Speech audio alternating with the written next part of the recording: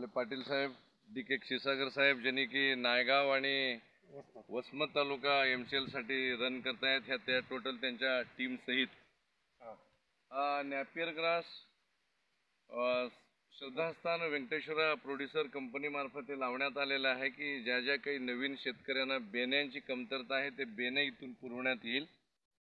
नॅपियर super म्हणून आहे तर नॅपियर सुपरची हाईट आम्ही हे गेल्या तीन महिन्यापूर्वी लावलेली आहे. अशी हाईट जवळपास सात ते आठ फुटाला पोहोचलेली आहे.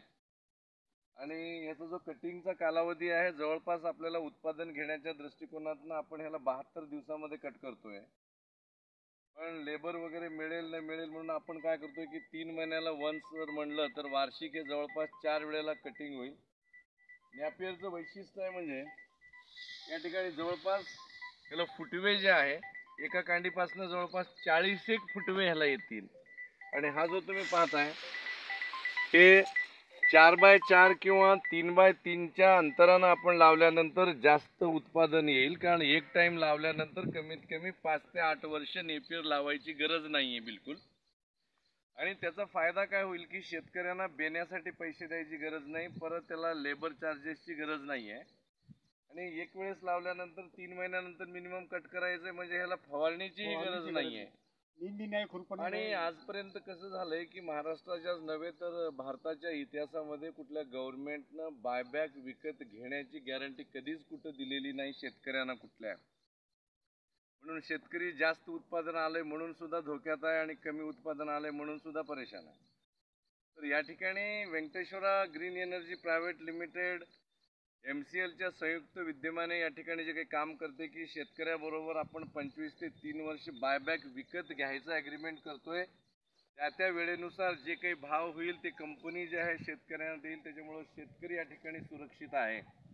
आणि एवढंच नाही तर शेतकऱ्याला जे आहे एम पी ओच्या माध्यमातून म्हणजे फार्मर प्रोड्युसर कंपनीच्या माध्यमातून आपण यांना काय करतोय सर की दहा रुपयाला एक असे मिनिमम त्याला मेंबरशिपचे पंचवीस शेअर्स देतोय. म्हणजे अडीचशे शेअर्स असं काही शेतकऱ्यासाठी फार काही मोठं नाही आहे अडीचशे रुपये दिल्यानंतर तो मेंबर्स होतो आहे आणि त्या ठिकाणी प्रत्येक तालुक्याच्या अंडर आपण जवळपास शंभर ते एकशे पंचवीस विलेज प्रोजेक्ट एम सी एलतर्फे आहे आणि त्या नवीन उद्योजकाला उद्योग मिळावा म्हणून त्या ठिकाणी कमीत कमी त्याला कंपनीमार्फत पंचवीस लाख रुपये आपण देतो आहे एंटरप्रेनर त्याचे पैसे द्यायची गरज नाही आहे त्याचं व्याजचं परतफेड एम सी एल कंपनी करते आहे आणि विलेज लेवलचा जो कोणी उद्योगपती त्याच गावातला राहायला पाहिजे ही आमची पहिली कंडिशन आहे. आणि तो त्याच गावचा उद्योगपती राहिल्यानंतर आता पाटील साहेब समजा या ठिकाणी वासनगावचे जर त्यांनी उद्योजक झाले ग्रामपंचायत लेवलचे तर हे सर्व शेतकरी त्यांना ओळखतील किंवा त्यांनी त्या शेतकऱ्यांची नाळ जुडलेली राहील. मग ते त्यांच्याशी ॲग्रीमेंट करतील की बाबा तुमच्या शेतात जे तयार झालेलं माल आहे एम सी एलच्या माध्यमातून आम्ही बायबॅक विकत घेतोय. आणि एका किलोला जवळपास जे आहे एक रुपया आपण देतोय. आणि एम सी एलचं एक वैशिष्ट्य एक आहे की जे काही नॅपियरचं रिसर्च झालेलं आहे याच्यामध्ये आपण आता हे जसं सुपर आहे तसं गुजरातचं सुद्धा एक त्याच्यामध्ये नॅपियरची हे आहे. CO five. कुठले? CO five. CO five.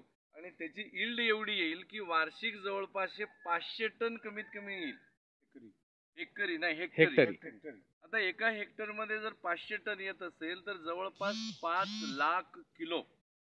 आणि जर एमसील एक रुपये किलो प्रमाणे जर घेतलं तर पाच लाख शेतकऱ्याला एका वर्षामध्ये मिळणार आहे. म्हणजे जवळपास तीन महिन्यामध्ये जेव्हा सव्वा लाख शेतकऱ्याला मिळेल तर शेतकऱ्याचं काही नुकसान आहे का? कारण शेतकऱ्याकडनं बायबॅक परचेसिंग जर कोणी केलेलं नाही आपण ते करतोय.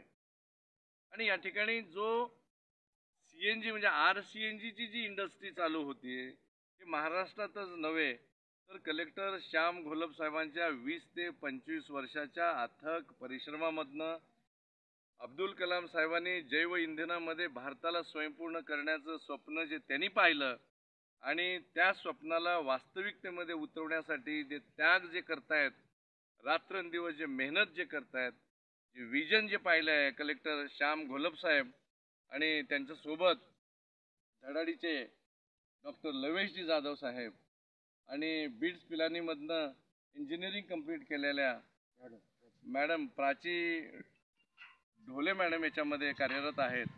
आणि आज पूर्ण भारतातल्या पाच हजार पाचशे तालुकाजमध्ये एम सी एलच्या माध्यमातून ह्या इंडस्ट्र्या चालू होत आहेत. आणि हे जे सी एन जी इंडस्ट्री चालू होती आहे ही मिनिमम दहा टन ते सहाशे टनच्या क्षमतेची ती इंडस्ट्री आहे. आणि भविष्यामध्ये या नेपियर ग्रासला सुद्धा पर्यायी आणखी कुठलं काही ग्रास असेल आणखी कुठलं बायोमास असेल कंपनी रेग्युलर रिसर्चमध्ये आहे. आणि क्षीरसागर साहेब सर्वात भाग्याची गोष्ट आहे की कलेक्टर श्याम सरांनी लवेश सरांनी प्राची मॅडमनी वेळोवेळी व्यंकटेश्वरला जे आहे तुम्हाला ज्या तुमच्या स्वप्नातलं जे विजन आहे इथे भारतातली सर्वात मोठी या ठिकाणी जी रिफायनरी होईल सी एन जीची इंडस्ट्री होईल या ठिकाणी ऑर्गॅनिक फार्मिंगचं डेमॉन्स्ट्रेशन राहील व्हेजिटेबल अँड फ्रूट्सचं डेमॉन्स्ट्रेशन राहील या ठिकाणी ऑर्गॅनिक सर्वात मोठं मॉल राहील. म्हणजे लोकांना बाहेर कुठे जाण्याची गरज पडणार नाही. आणि येणाऱ्या सर्व लोकांसाठी हे खुलं करण्यात येईल. ते पाहिल्यानंतर त्यांच्या शेतावरती भरपूर काही डेव्हलप करण्याचा योगही त्यांना येईल. थँक्यू व्यवस्थित